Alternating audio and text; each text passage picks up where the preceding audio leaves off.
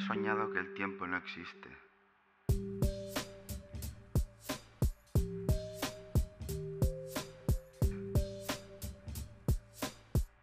Que somos lo que creemos desde que nos levantamos. Que no hay nada más que lo que cabe esperar. Que el pasado no existe, ni la historia.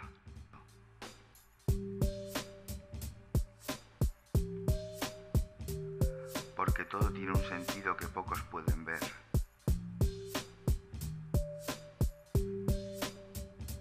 Dentro, todos tenemos otra historia, que es un círculo que no se consume.